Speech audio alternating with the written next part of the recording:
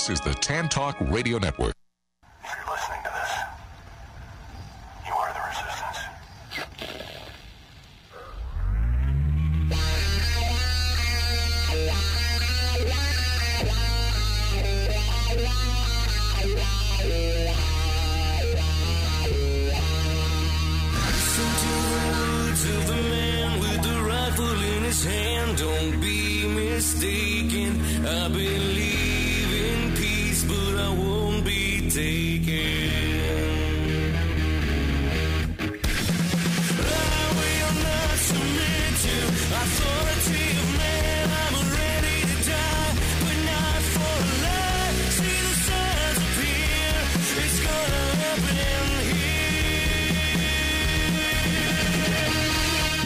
This is Liberty Underground with Alex Snitker and Adrian Wyllie on the 1787 Radio Network. Welcome back. Hour number two, Liberty Underground on the 1787 Radio Network. If you'd like to call the program, the numbers are 727 441 3000 or 866 826 1340. You can also listen live at 1787network.com. Joining us now, Brandon from the Desk of Brian with what we missed in the news this week. Brandon, welcome. How you doing? Doing outstanding, Adrian. How was your week? Oh well, uh, you know, just uh, fighting tyranny in every direction this week. Well, I tell you, it was really good to see the SOPA uh, boycott on Wednesday, and I think we, we reported it early on on about Christopher Dodd's involvement with the MPAA, and it really opened the doors, especially with Wikipedia and some of the large websites also protesting, to engage a lot of people in conversation about what SOPA really is and how easy it would be to shut down websites and having the government so intricately involved uh, with the internet. And I thought it really, really went well this week, and uh, I, I don't know what your thoughts are. Oh, absolutely. In fact, yeah, we didn't touch on that. We talked about some of the other sites that uh, uh, protested SOPA, but uh, Wikipedia actually went dark for an entire day um, over this, which I thought was phenomenal. And Wikipedia, if you've, uh, I've been an editor of Wikipedia for a long time, and, and they are very stringent about uh, copyright to begin with. Um, if you're going to post an image or anything like that on Wikipedia, it, it truly has to be vetted, and you have to show that that you have copyright to that material. Uh, so for them to go dark in support of that uh, was a really big move. But uh, Brandon, deskofbrian.com is one of those sites that would be on the, uh, I'm sure, on a short list of uh, uh, sites that would uh, be targeted by the Justice Department should SOPA pass. Yeah, we'd probably be, um, you know, pretty quick just because it doesn't take any more than an accusation for them to be able to pull you from Google search engines and and uh, shut down your advertising funding and that type of thing. So it would be pretty. Uh, pretty quick to uh, really almost decimate a, a website of that magnitude. And the the revenue, and I, I wrote about this, is the revenue through Google Ads and, and things like that. When you don't have big sponsors, it's not going to pay for an attorney or any mechanism to fight the legal system that would take to get your websites back up and running. And you know, while our intent is not to violate copyright laws, and, and we're trying to really, really be even more assertive, like you said with Wikipedia, uh, headed into 2012, there's always a chance for a mistake, and that's where the law is written for really no gray area, and it's very difficult. It would be it would be very difficult to defend yourself. Yeah, yeah, and it would be uh, difficult to defend yourself under fair use, uh, which uh, you know news sites generally uh, do. But uh, you know, even under those circumstances, all they need to find is is one image or one link somewhere to something that is uh, you know questionable copyright, and you're done. Well, and I hate to sound like a conspiracy theorist with this, but you know, the movie the movie industry sends out tons and tons of promotional imagery and uh, material all the time. They do not require us to constantly refer back to them. Everybody knows what comes from Paramount. Everybody knows what comes from Universal and that kind of thing. However, one quick phone call from somebody who's angry about the content on a website, suddenly they realize that you know you have a poster that's not footnoted properly or something like that, boom, it would fall into the criteria that the way the soap is written. So I would hardly be alone with the uh, the problem, and I'm actually surprised there were not more pop culture and uh, news websites that uh, kind of boycotted along with us. Yeah, it, it seems like you know if you did have an image on your site that was uncopyrighted, they could just claim it was copyrighted by someone else, or they could lay a copyright on it themselves and then shut your website down, even though you had like a something that was in the public do- or in the free public domain. And most people have been very civil in doing this, and we went through a very difficult time at the end of 2011 with this. And the concern that arose from that dealing was that you could falsely claim you own copyright, and therefore I can grant Adrian permission to use it. It turns out that I didn't have copyright originally, so now I'm in, now Adrian would be in a bit of a mess because the original author comes back at him with maybe a lawsuit, or in this case, with the SOPA guidelines, shutting him down completely. Right. And there's no due process, and the burden of proof is uh, on the accused, not yeah, on guil- the you're- originator. You're, you're, um, guilty first. You're innocent last, and it is written very much in that way. And uh, like I said in originally, Christopher Dodd's name on this, I think, really helped reach out to general public from my experience because people know who Christopher Dodd is. You don't have to be a liberty-minded individual to dislike Dodd's agendas for America and its future. Uh, general public, uh, even those, um, you know, a Glenn Beck Rush, Rush Limbaugh listener has kind of a, a disdain for uh, Christopher Dodd. So there really should be an appeal to really squash this bill and put, put this all behind us. Yeah, the only thing that would be worth worse uh, was if uh, Barney Frank uh, was on there too. But But you know uh, they're running pro SOPA ads on MSNBC. oh no, you're kidding! Yeah, yeah. I got, I got it sent to me yesterday. I'm going to try to get to that today and, and screen it myself. But it's kind of a you know pro SOPA little 30 second ad, and I, I was I was just shocked that a news agency would really want to be that vulnerable. But the ties to GE and the ties Yeah. to the government, Yes. I mean, it doesn't really surprise you if you do if you know the research and, and the handiwork. Oh yeah, yeah. It's uh, you know all the the major media outlets are owned by these global conglomerates that have a vested interest in uh, promoting things like SOPA. But uh, well, you know, there's not going to be there's not been any reports that uh, you know our our our fever and response and uh, over Iran is still in high gear. We have two aircraft carriers now that are strategically positioned over there with 15,000 troops in Kuwait because of the pressures in Iran.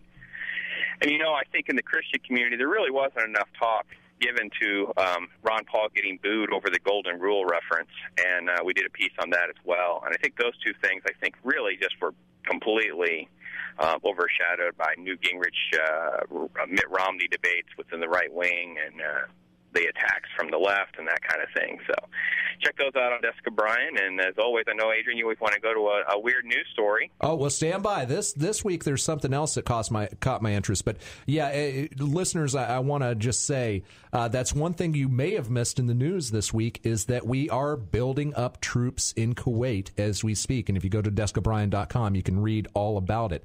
Uh, so the the war drums for Iran continue. But um, where I wanted to uh, talk to you first, uh, Brandon, is uh, this editorial piece you have on here about DHS and the Department of Education partnership. Can you touch on that a little bit? Um, well, you know, I, I, I think there's a great article there. It's written by Ju, uh, Judy Aron. She's one of our contributors, and I think wh- where, where I think people um, uh, tend to don't understand about you know the Obama administration, the Bush administration is they're very protective of these uh, departments, and they intermingle their powers. And you know, you have someone like Ron Paul. It's like I'm going to get rid of these departments. This is why it is so extreme to them because they will intermingle you know, the concepts of terrorism, uh, protecting our students, um, what will be taught in schools. And this is a great article that kind of helps dive into how they will strategically align these departments together for really a more authoritative state power. And I think it's a very um, interesting article, and I was more than happy to uh, have a great writer like her to contribute it. Yeah, it's and the program is called Countering Violent Extremists, where the Department of Homeland Security is going to go into public schools and teach children how to identify potentially terrorist behaviors. And as we've talked about on the show in the past, you know, things like uh, having more than seven days worth of stored food or paying with cash, potential terrorist activities. Kids, turn in your parents. Uh, but uh, okay, Brandon, let's uh, let's hit a weird news one real quick. It looks right, like you- some you good got ones a this drunk week. driver, and he pulls off the road. And there's other people that know he's drunk, and they followed him into the parking lot. He tries to get back into his car. He gets belligerent because they can't stop him. They actually have a bystander who hog ties the man. and that's the language that was used in the arrest record. It was that he was physically hogtied. That's awesome. I think that's absolutely hysterical to put. You know, how how how does that feel to go downtown? You got your mug shots. What are you in for, man? I was hogtied for drunk driving, bro. That's And it- fantastic. It's in New Mexico, so you picture a guy riding up on the horse and lassoing him. You know. You know, Yeah, it was. It, I'm sure it was not to that extreme, but that is exactly how it was worded all the way through the records. It was fantastic. as, as someone who's from New Mexico, born and raised, uh, yeah, no, Adrian. Um, but uh, yeah, there the, uh, DUI is a big a big problem in New Mexico. It used to have one of the highest rates overall uh, out of the country, and I think it still has the highest rate per capita. Wow. Well, Brandon, as always, thanks for the uh, what we missed in the news. And folks, you can go to deskofbrian.com. Great website. Make it part of your daily news gathering uh, sites. And uh, Brandon, we will talk to you again next week, sir. All right. Thank you, guys. Have a good weekend. Take care, brother. All right, uh, we're going to take a quick break. When we get back, we'll have more interesting stuff, and uh, hopefully, we'll get into the conversation about what should be done with intellectual property, should it exist. We'll find out when we get back. You're listening to Liberty Underground on the 1787 Radio Network.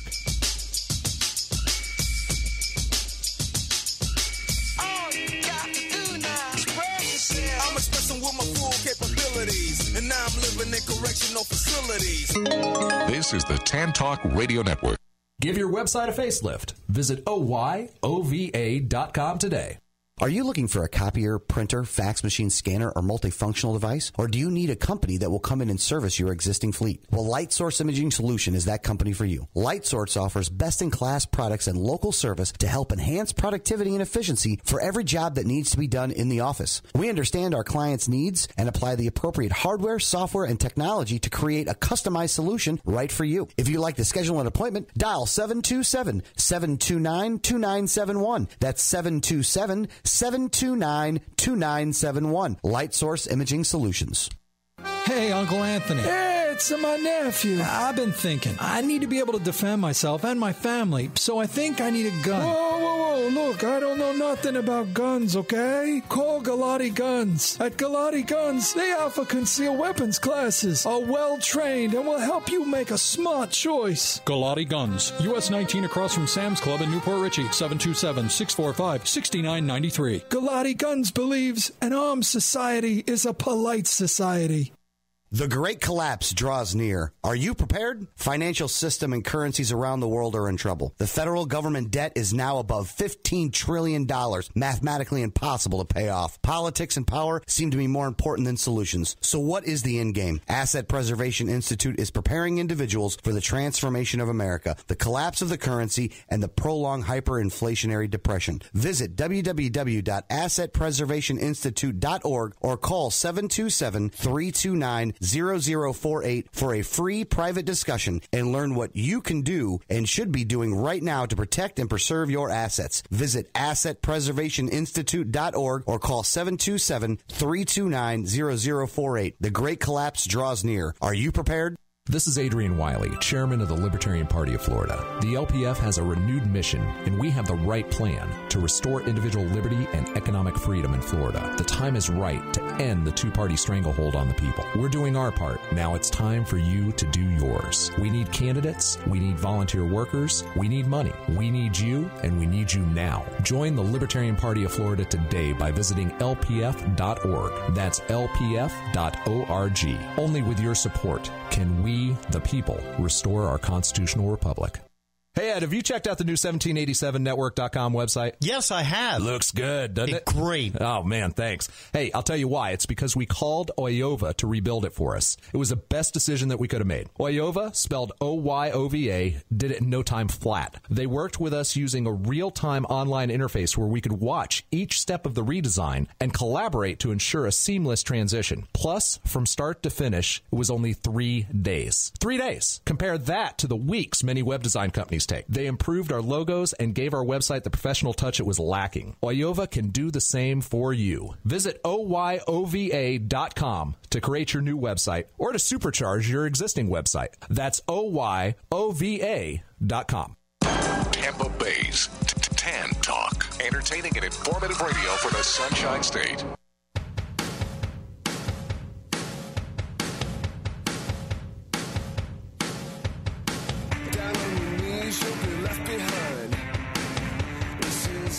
Welcome back to Liberty Underground on the 1787 Radio Network. If you'd like to call the program, the numbers are 727 441 3000 or 866 826 1340. You can also listen live at 1787network.com. And even if you don't want to listen live, if you're listening to us in the car on uh, the AM band or uh, listen to us on our uh, new station in Arkansas, 94.5 FM, um, still, when you get the chance, go to 1787network.com check it out. Podcasts of all the shows are there if you miss something plus a lot of great articles. Uh, we've got uh, 12 different writers and contributors to that site so there's always a lot of good liberty minded information out there.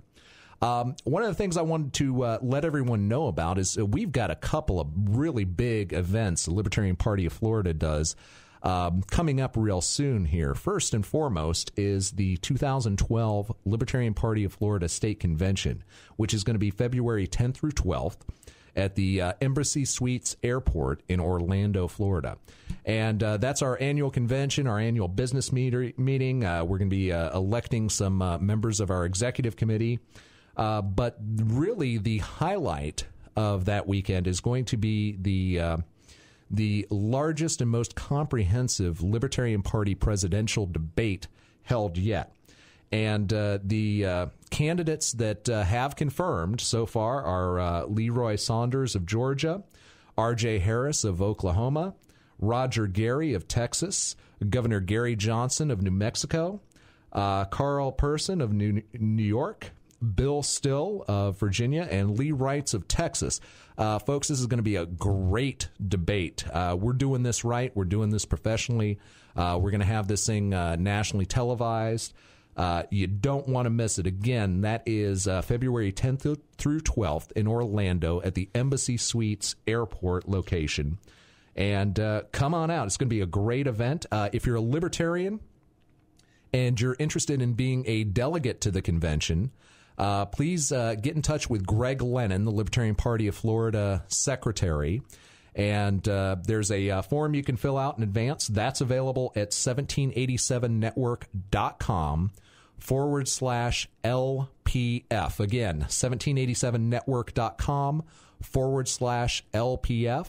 Uh, you can also go to the LPF website at lpf.org. Uh, there's uh, information there. Just click on the link for the 2012 state convention. Uh, another thing I want to announce is next Friday, uh, we will have a Libertarian presidential candidate, Bill Still. Uh, in studio, and also we'll be doing an event. Uh, the event will be at uh, 6 o'clock p.m. in Clearwater. Uh, Bill will be giving a presentation at the Daytech Center in Clearwater. And afterwards, we'll be heading over to Quaker Steak and Lube at about 7 o'clock for a meet and greet and hang out, have some wings, have some beers or cocktails and uh, just have a good time. And it's your opportunity to. Uh, you know, to question one on one one of the libertarian presidential candidates. And uh, as you know, uh, we've had Bill Still on the program in the past. He's the author of uh, The Secret of Oz and the Money Masters. Is that correct, Lauren? The Money Masters is uh, okay. Yes, yeah. Well, I'm familiar with The Secret of Oz. Okay. But, but uh, yeah, great uh, author and uh, documentary director. So come on out to that. That is uh, next Friday, the 27th at 6 o'clock at the Daytex Business Center on 49th Street in Clearwater. We'll have more information on that on the 1787 uh, Network website. Now, I want to just take a minute and reach out to Ron Paul supporters. Um, quite frankly, let me tell you where I stand on Ron Paul. I think uh, think we've discussed this on the past. I agree with the majority of Ron Paul's uh, positions. I think he's a great guy. I think he's a great voice for liberty. I think he made a huge strategic error by trying to run in the Republican Party. Um, there's, you know, there's there's no way this guy is going to be allowed the Republican nomination. So, should that happen, should Ron Paul not get the nomination, and uh, you know he's he said repeatedly that he has no intention of running third party. In fact, it's too late for him to run as a libertarian at this point. I want to reach out to you guys, and I want to say, you know, I, I re- highly respect everything you're doing for the Ron Paul campaign, but should he not get the nomination, you absolutely need to support the libertarian presidential candidate. Um, you know, we've got, uh, for example, we've got Gary Johnson right now, who in a national poll is at 9% right now uh, in a three way race between Mitt Romney, who probably will be the Republican nominee, Barack Obama, and Gary Johnson. Gary Johnson, right now, today, even with uh, you know the the Ron Paul supporters still still out there, are is at nine percent. So if you guys, if if your guy doesn't make it in the Republican Party, if you come over, we got a shot at this thing. We have a chance to really make a difference this time around. Uh, we've got a candidate that is right now polling at 9% nationally. That's a big deal, folks. And with your help, if you put the same kind of enthusiasm and the same type of effort behind the libertarian presidential candidate, we could win this thing in a three way race in the general election. So I just want you to think about that. So if things don't work out, remember, Ron Paul supporters, you have a home in the Libertarian Party. So, um, all right. So I just uh, wanted to get that uh, little bit of housekeeping out there. And uh, we're going to go to break right now. And when we get back, we're going to talk with. Uh, we have that confirmed? Yes, we do. Okay. And we're going to talk with uh, Stephan Kinsella. Correct. Uh, okay. And he's going to talk to us about intellectual property. You're listening to Liberty Underground. We'll be right back. Come to decide that the things that I tried were in my life just to get high on. When I sit alone, come get a little known, but I need more than myself this time. This is the Tan Talk Radio Network. Are you looking for a copier, printer, fax machine, scanner, or multifunctional device? Or do you need a company that will come in and service your existing fleet? Well, Light Source Imaging Solution is that company for you. Light Source offers best in class products and local service to help enhance productivity and efficiency for every job that needs to be done in the office. We understand our clients' needs and apply the appropriate hardware, software, and technology to create a customized solution right for you. If you'd like to schedule an appointment, dial 727 729 2971. That's 727 729 2971. Light Source Imaging Solutions. American Standard Playing Cards is the official playing cards of the 1787 Radio Network. No jacks, queens, and kings. Now it's we the people, gentlemen, ladies, and patriots. Throw out the old tyranny suits. Now there is faith, declaration, revolution, and unity. These cards will etch the Constitution in the hearts of every American. Check out their two minute intro at AmericanStandardPlayingCards.com. That's AmericanStandardPlayingCards.com. That's AmericanStandardPlayingCards.com. New technology is being unveiled by the 1787 Radio Network. The Liberty Underground show is offering you, our sponsors, special rates on subliminal advertising. You will buy advertising from us. Studies show that subliminal advertising is 8,412% more effective than standard radio ads. You will write us a check today. Call 1 800 575 1787 today. Call it now, right now. For more information on your sponsorship opportunities, that's 1 800 575 1787 to get your ad running today. This is Alex. Let me tell you about a new sponsor that we have, RonPaulProducts.com. If you're looking for bumper stickers, t-shirts, car decals, wristbands, magnets, license plates, banners, signs, buttons, whatever, big custom kits, bulk sales, if you're out there trying to restore the Republic and help this guy win the election, this is the one place that you can go to get phenomenal product at bottom basement prices. This is a local guy here in the Florida area that is a, big supporter of Ron Paul that put this website together for you to be able to get the things out. So go to Ron Paul products.com and get your materials there. Again, that's ronpaulproducts.com. Hey, Ed, have you checked out the new 1787network.com website? Yes, I have. Looks good, doesn't it? Great. Oh, man, thanks. Hey, I'll tell you why. It's because we called Oyova to rebuild it for us. It was the best decision that we could have made. Oyova, spelled O Y O V A, did it in no time flat. They worked with us using a real time online interface where we could watch each step of the redesign and collaborate to ensure a seamless transition. Plus, from start to finish, it was only three days. Three days. Compare that to the weeks many web design companies take. They improved our logos and gave our website the professional touch it was lacking. Oyova can do the same for you. Visit oyova.com to create your new website or to supercharge your existing website. That's oyova.com. This is Adrian Wyllie, chairman of the Libertarian Party of Florida. The LPF has a renewed mission, and we have the right plan to restore individual liberty and economic freedom in Florida. The time is right to end the two party stranglehold on the people. We're doing our part. Now it's time for you to do yours. We need candidates, we need volunteer workers, we need money, we need you, and we need you now. Join the Libertarian Party of Florida today by visiting lpf.org. That's lpf.org. Only with your support can we, the people, restore our constitutional republic. Need more than smoke signals? Sign up for the Liberty Underground weekly newsletter at 1787network.com. Tampa Bay's Tan Talk. Entertaining and informative radio for the Sunshine State. Sitting and staring out of the hotel window. Gotta take, they're gonna kick the door in again. I'd like to Welcome back to Liberty Underground on the 1787 Radio Network. All right, if you recall, a couple weeks ago, uh, Loring and I were having a discussion about intellectual property rights. And uh, we went back and forth for a while, and, and Loring said, you know what?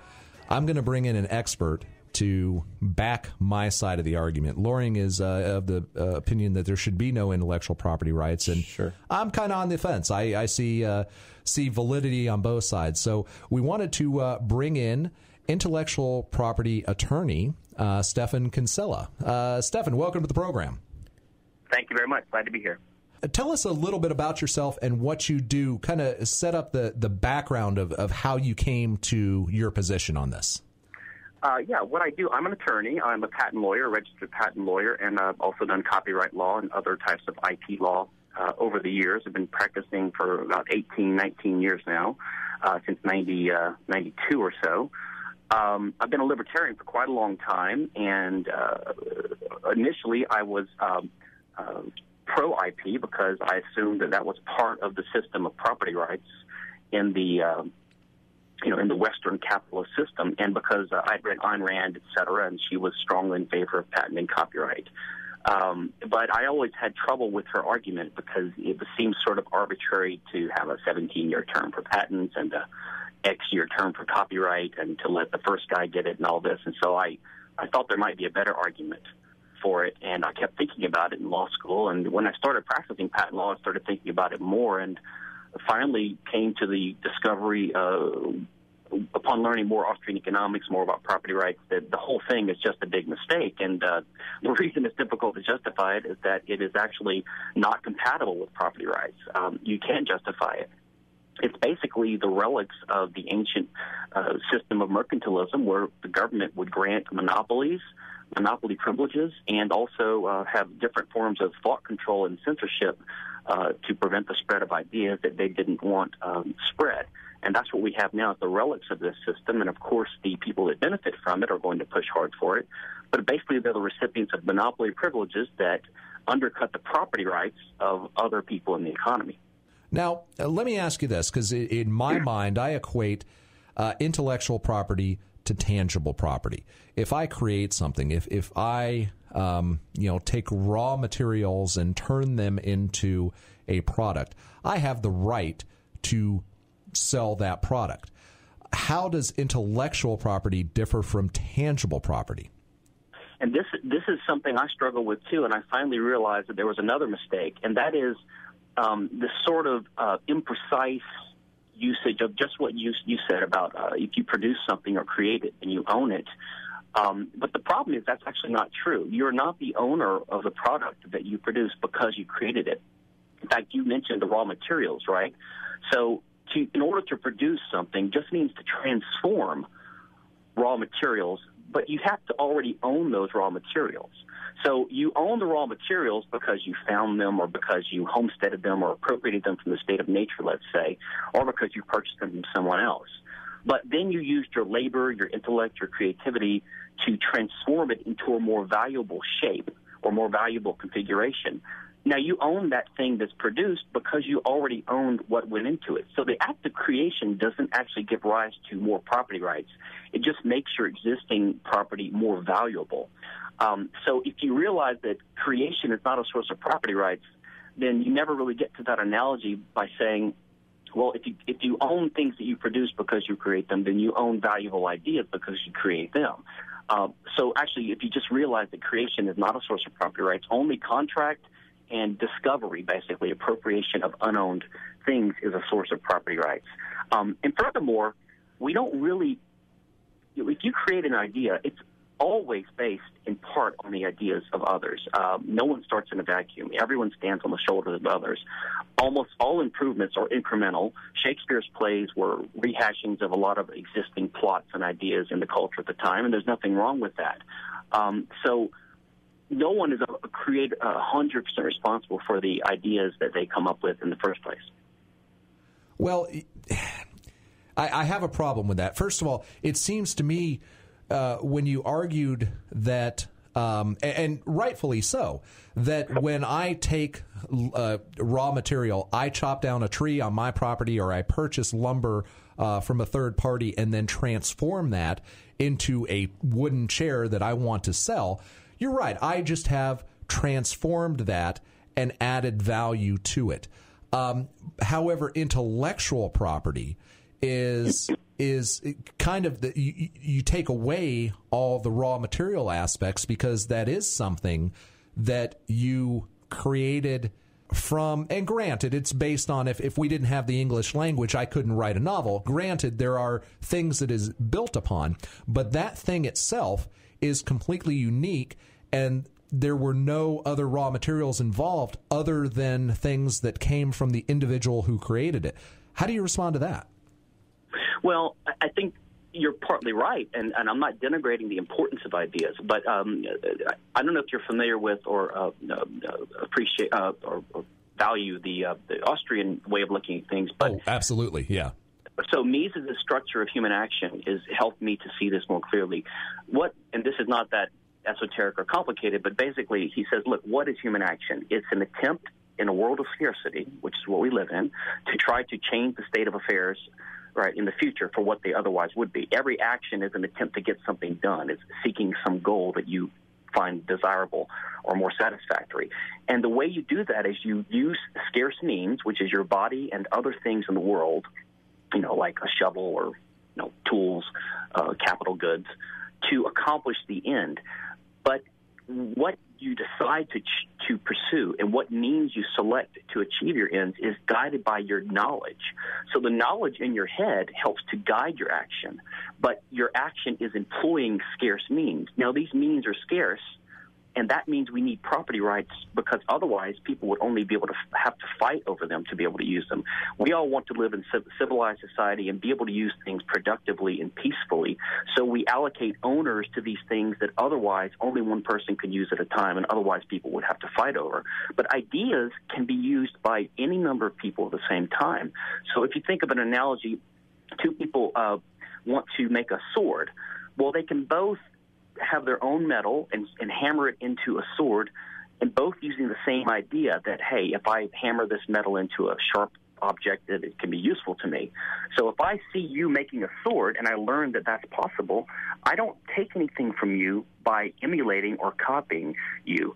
Same thing if you know you're the first person to build a house made out of log log uh, logs, a log cabin, uh, when people have been living in caves before, everyone gets the idea, hey, that's a great idea, or using fire to cook food. Ideas spread and they enrich human society. Um, and actually, as capitalists or as property rights advocates and free marketeers, we should be in favor of people learning and competing with each other. And basically, all that copyright and patent do is stop people from competing. In fact, the proponents of copyright and patent admit this. They say that we can't have unbridled competition. You know, it can't be too easy to compete with someone. If if, if I see you making a, a smartphone with a touch screen, you can't make you can't make the same thing because then uh, it's just not fair. Well, of course that's fair. That's the free market.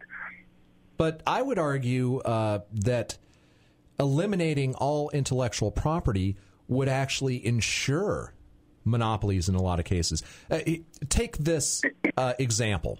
Um, I write a novel, and I'm just one guy who sits at my computer in my kitchen and Mm-hmm. writes this unique, uh, you know, work of fiction, never been created before. It's it's a it's a novel. It's an original and it's awesome novel by Adrian Wyllie. Yeah, and uh, if you're waiting for me to write a novel, don't hold your breath. But it, just for this analogy, um, so I take that novel And of course, I want to be able to benefit from my creation. I want to be able to profit from it.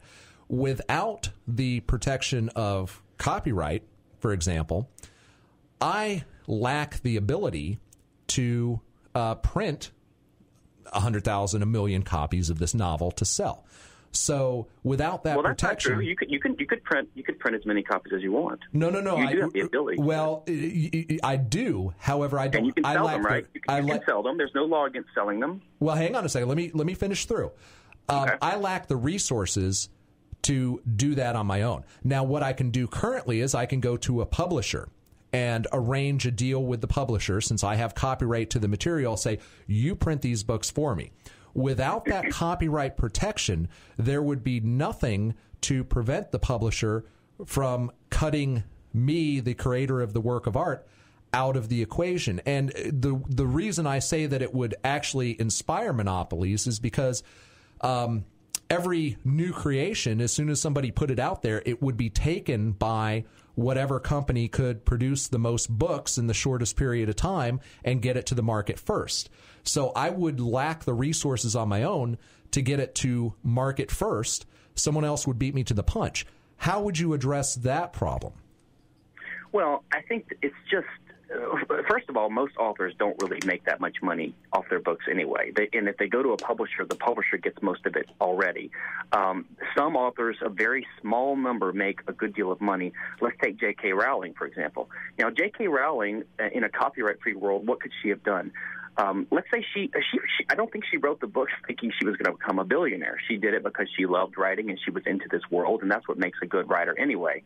So she, let's say she would have published her first couple of books and just sold them and made a little money, um, uh, and maybe they got pirated. But they, if they became very popular, which pirating could actually help, then after the second book, she could be internationally famous, and all these children love her. She could she could send out a note.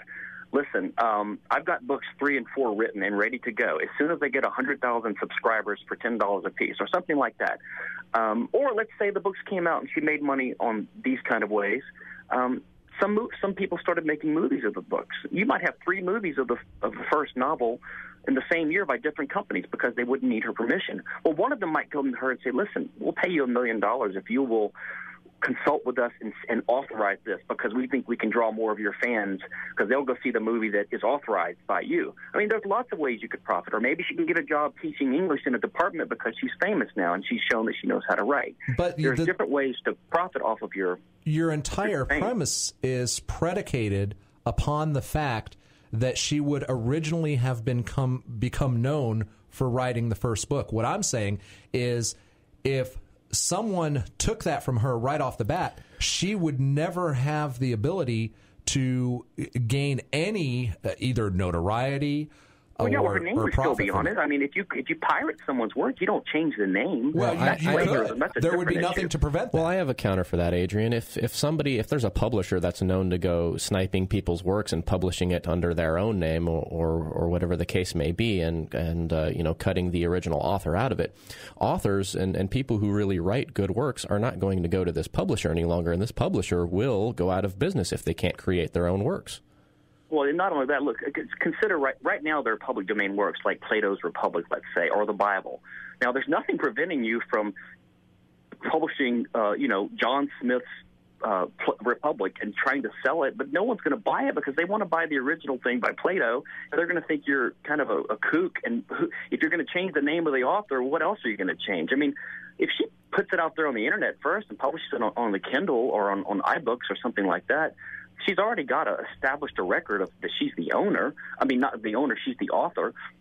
Uh, so if someone wants to knock her off, they're going to just keep her name on it. I mean, when when you go to these little alleys in uh, China and places and buy knocked off CDs, it doesn't say uh, uh, you know Zoo by some. It, they put the name of the of the of the creator on there so that people know what they're getting. Well, that's actually a fair point. Uh, you're you're right about one thing. In the internet age, it does give uh, the individual with meager means the ability to get their original content to a huge number of people. So actually, yeah, you, you kind of in that vein. Because one of the things that that my biggest concern is is that the the creator of the content would be cut out of the loop by someone who has greater means. But it, with the advent of the internet, if if uh, SOPA and PIPA are stopped, uh, perhaps um, you know the individual who created the content could get it first to market and have a huge audience before Yeah. anyone else could take the idea fact- and take credit for it. Yeah, there's a great example of this. Louis C.K., who's a, a fairly well-known comedian. He's not famous like you know Madonna or anything, but he's a fairly well-known comedian. Uh, I don't think he's hyper wealthy, but he has this comedy show. He does one a year, and he I don't know if you heard what he did. If you go to Louis LouisCK.net, I think, or just search for Louis C.K. on Google, he about a month ago he he he uh, he had done this annual comedy show and he recorded it and. uh he spent about thirty thousand dollars um, to have a website developed so that he could easily sell this. No DRM, no nonsense, no limits. You just download the file for five dollars on PayPal. Very simple.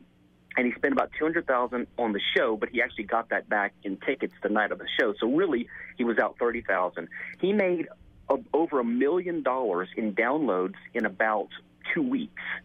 Uh, and I don't know what he's made since then because that was about a month ago. And he he put it on his web. He explained it. He said, "Oh, I made a lot more than I thought, so I'm going to give uh, five hundred thousand dollars to these four charities, and the and because I'm I'm only going to keep two hundred fifty k for myself because that's really all I, I I needed, and the other two hundred fifty k I'm going to split it among my staff and give them a big fat Christmas bonus, and." uh and so now the work's probably being pirated, but so what? He made this, and he's probably still selling it because it's easy. Um, if people make their work easily accessible, people are willing to pay for it just as a convenient service, even without copyright. Indeed. Um, and Stephan, you know, the example I gave uh, two weeks ago was uh, Radiohead using the freemium model by putting out their uh, album for download and, you know, telling their fans, hey, if you like this album, send us a few bucks. And they made more on this album than they did on any of their previous albums. Yeah, the other thing I would point out is that there's a lot of creativity that is stifled right now by copyright. So, for example, who knows what kind of remixing type musical techniques uh, would be would be used if people weren't afraid to? Uh, and how many document? Have you heard of all these documentaries that are made, and then they have they get blocked because someone in the background there's a billboard or a painting on a building, and someone claims copyright, and and um, you can't even film in front of buildings now because some people claim copyright in these things. Right. So there's all these blockages of creativity that would be unleashed. So yeah, some people would lose the monopoly ability to sue other people for for doing something with their own property. But on the other hand, they would be more free to use works of others and build on it. Well, there's no doubt that it's been taken to the uh, to the extreme at this point. Eh, I don't know. I still kind of struggle with it. I, th- I think that individuals that create something original should uh, should have uh, some recourse to prevent people. But then again, you, you bring up some interesting points. But uh, Stephan, uh, we've got uh, someone that would like to weigh in. Uh, let's take a call. Steve in Pensacola, you're on the air. Hi, Adrian. Uh, hi, everyone. Hey, um, uh, if if I understand what he's saying correctly, um, I may be wrong, but what he's saying is by leaving it open like that, that's almost uh, either uh, it could either go extreme anarchist or, extre- or, or almost Marxist because uh, because um, under under a um, under our Constitution and under the concept of freedom, you have the right to protect that which is yours. You, um, uh, if, you, if you go back to the to the original arguments of John Locke versus Thomas Hobbes, um, you, uh, if, if you were to maintain all the freedoms that you were to have without government, uh, that would mean the ability to protect your, your property. Now, the property under that uh, uh, that we're talking about here, yes, it's it's it's not physical, it's not it, it's intellectual, but um, in in, uh, in the way that you would probably without government is is somebody would have to come to you because if we didn't have the technology and so forth like we did, but it is still your idea. If um, and, just like the person who who needed work um, with uh, you know they'd go to a blacksmith. The blacksmith knew how to do it. Well, uh, they, he couldn't. He, they couldn't produce um, multiple blacksmiths on a, on a copier like that. But when when you effectively when they say no, you can't protect it. That is like government, uh, kind of in a passive way, saying no, you can't you can't uh, protect your own property that way. Stephan, you got a Well, I response mean- for that? Yeah, let, let me let me just tell you the pers- where I'm coming from. Um, there's, there's a lot of things rolled into there. First of all, patent and copyright were never called property until about 100 something years ago when uh, a, a propaganda campaign was launched by the government to, to defend it. Everyone saw them as monopolies and as a derogation or as an exception to regular property, and people were nervous about that. And so, um, uh, and uh, it's not Marxist. What my perspective is radically pro property rights, pro capitalism, and pro free market. Um, uh, and the and the reason I'm against patent and copyright is because they infringe on property rights. They basically give people that hold these monopoly grants from the state. Okay, that's more like Marxism. That's more like communism. The state grants these monopoly privileges that allows people to go to the government courts and sue other people on the market who are, for just using their property the way they see fit. Um, in fact, um, John Locke did not believe that copyright and patent were natural rights. His homesteading theory said that we have scarce resources in the world, things that uh, only one person can use at a time, and the only fair way to have a society be able to use these resources productively is to assign ownership rights in these things to the first person who finds it. But he was talking about scarce resources, not about ideas. Um, so I- just don't think that that is correct. Now, look, Shakespeare had patrons before copyright. People paid him. Some of the greatest music in world history was written before copyright. Uh, you know, the classical era. Um, I've paid photographers to photograph my son, my family on vacation, things like that, and they just give me the disc with the pictures on it. So I'm paying them for their services. I hired them because I saw their website and saw the good work they had done. There is no reason that you can't profit from your skills and from your services, but um, actually there is no property right in ideas. There's a property right in your body and in the physical things in the world that you acquire by contract or that you find unowned in the state of nature, but not in ideas. Ideas are just information and knowledge, and the free market requires competition. And to have competition, people have to be able to emulate each other copy what other people are doing and try to do it better. Well, now, uh, of course, let, let's face it, though, at the time that that, uh, that Locke lived and that Shakespeare lived, they did not have the ability to mass produce things the way we do now. Uh, and um, and when, especially when you have to put a massive investment into something, we're talking millions of dollars. It, you could you could lose that before you could recover half of that cost. That's correct, but in, in a, so in a sense, because of technology and the digital age, and uh, it's easier to copy, but it's also easier to uh, to do what Louis C.K. did, or do, become an independent author and go around the publishing companies, and go to go to iTunes or iBooks, and, and uh, you can do your own textbooks now with with book author. Um, so it's like a double-edged sword. It gets easier to copy and easier to compete, and we have more production, and it becomes easier to become your own producer as well and to make a profit on your own. Excellent question, Stephen. Thanks for the call. Um, Stephan, we're uh, coming up on the end of the show. Do you have uh, anything else you'd like to say? Uh, did you have a question for Uh, well, I, I just want to say, um, you know, uh, Stephanie, you, you brought up some interesting points. Uh, I'm still on the fence, uh, but uh, Mm-hmm. You, you made me think a little bit, so I appreciate that. Hmm. It's it's something I, I might have to give uh, Here- some more thought to. and to. here's the other thing, you know, the argument that IP is actually property, it's really not. I mean, like Stephan said, this, you're talking about ideas, and in the case of like digital files, you're talking about ones and zeros in a particular order, and to Oh, suggest but that, no, yes, see that that argument I don't agree with. I think the the concept itself has value and it, it has ownership. But how far does that ownership extend? I that's I think Let, where let me let me suggest something. Uh, first of all, there's a really good video uh, on I think it's on uh, questioncopyright.org, and it's by Nina Paley. It's one of the minute memes. It's called "Copying is not theft." One thing to do is to stop using the states and other metaphors that are not accurate.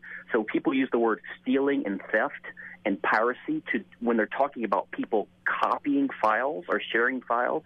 Now, even if you think it should be illegal or, or, or against the law or or a bad thing or an offense, it do, it is actually literally not stealing because you know if I steal your bicycle, you don't have it anymore. That's what stealing means. But if you have a technique or a file of information and I copy that, you still have it. So if I see you making a cake a certain way and I copy your recipe, I may be copying you, but I'm not stealing anything from you. Um, so that's one way to think about it. And I would also, it is a difficult issue, especially if you're used to thinking about it in the standard way. I mean, the, the, the Western system has included these things for 200 years, and so everyone assumes that this is part of property rights. Um, I would say think about it, and there's a lot of good resources on my site, uh, articles by me, books by me, and by other people too, um, on c4sif.org. That stands for Center for the Study of Innovative Freedom, C4, the number 4, SIF.org, on the resources page. So if you want to look into it further, there's a lot of material there, and uh, it is a difficult issue. So I understand uh, um, you're thinking about it like this. Well, Stephan, thank you very much for joining us today. Uh, very good stuff. And give that website one more time. C4SIF.org. All right, and we will uh, we will talk to you again, uh, Stephan uh, Kin- Kinsella. Kinsella, yes. Kinsella. Sorry, I have so much trouble with that, but uh, thanks for joining us. Thanks, enjoyed it. All right, and uh, one thing uh, that uh, you know, like I said, is I'm still kind of on the fence. You know, it's it's uh, it's interesting to think about. I, I was on the fence for a long time too, and you know, one thing that I, um, one thing that helped me out is, you know, I think the caller brought this up that you know, back in the early days, they didn't have the ability to copy works as easily and still recover their cost for it. You know, if there's something that won't bear a profit in a free market without actually getting a government granted monopoly on it, and there's no market demand for it, then it simply won't create it, and it, and it's no big deal. Yeah, that, that argument doesn't sell me. But hey, I got to, uh, sorry for the bad segue. I got to switch gears real Switch quick. Switch gears, go ahead. Something I wanted to really touch on. Uh, the uh, State Department this week, the Obama administration killed the Keystone Pipeline. And as uh, we heard from uh, Canada calling, Prior Smith reporting from Canada on, hey, he's saying Canada's swimming in oil, guys. All we need to do is get a way to ship it down to you. And a pipeline makes a lot of sense. But you know what? The administration wants to make sure that gas prices are still high. And, uh, you know, there's another player in this game that doesn't get talked about much, and it's Warren Buffett. Warren Buffett realized that, hey, you know what? I have the uh, ability to pressure the government to kill this pipeline. And then I can buy up the only other method of transporting this oil to the United States all the railroads. And that's what uh, Warren Buffett of uh, Berkshire Hathaway has been doing, buying railroads up in that section of the world. So guess what? If Canada wants to get that oil, sell that oil to us, that's how it's got to be transported. And remember, Brandon touched on it. We have two aircraft carriers in the Straits of Hormuz uh, pr- pr- uh, protecting the flow of oil, yet Canada has so much, and we tell them no thanks. Hey, hey, the entire North American continent is swimming in oil. We just got to drill for it and get it to our refineries. It's it's so ridiculous. Putting people in harm's way in the Straits of Hormuz. yeah, let's and- start another war Yeah. for oil Mhm. that's halfway around the planet And when we Canada's can get it begging right us here. to take it. It's unbelievable, folks. It just you know is, we got to wipe all these idiots out of all government offices and just get back to to common sense, just logical thinking. Imagine that. Uh, yeah, it's it's not rocket science here, people. We need oil for now. I'm all in favor of renewable energy sources, but let's fix the problem short term first. And then we can, you know, get uh, solar energy. It's great. It's the sun. It's a nuclear furnace in the sky that surprises is, provides all energy to the entire solar system. Yeah, uh, it's ridiculous. All right, before the end of the show, if you want to do something tomorrow, the Liberty and Justice for All rally is at Vinoy Park Yes, from 2 to 5. I'm going to be there. Libertarian Party, Pinellas County is going to be there. Yep, sign waving for Ron Paul today will be on the west side of the Courtney Campbell Causeway. And uh, Alex, you talked about the LPF state convention, didn't you? Uh, I'm Adrian. If you, uh, oh yeah, you know. guy that's usually talking. I did, yeah. Uh, the uh, LPF State Convention is coming up. We'll have more information on that soon. Check out 1787network.com um, or lpf.org for more information. Great show this week, guys, even without uh, the loudmouth. We'll catch you next week. This is Liberty Underground on the 1787 Network. We've got a long way to go and a short time to get there. Watch on bandit run. WTAN Clearwater, Tampa Bay. WDCF Dade City, Tampa Bay. KLRG.